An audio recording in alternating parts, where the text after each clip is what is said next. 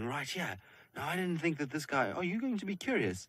This has got to be the most relaxed slender mongoose that we've got because I've never seen a slender mongoose sit like this, even when you kind of come up. They normally run away as quick as possible, but he's busy checking us out. I feel like he might be a descendant of Shadulu. Exactly. He might be related to Shadulu in some way. I don't know what it is with Jigga that animals just have this infatuation where they stare at it like he is. I think we've caught him in the mid toilet time, and maybe that's why he's. There we go.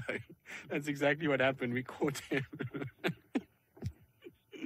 we caught him in mid toilet time, and so he had no choice but to try and just get it out as quick as possible while washing us, which is ridiculous. Anyway, nice surprise nonetheless. that was quite funny, actually. I enjoyed that. But that poor slender mongoose must have just been sitting there like, come on, I just need to get it out before I can run away.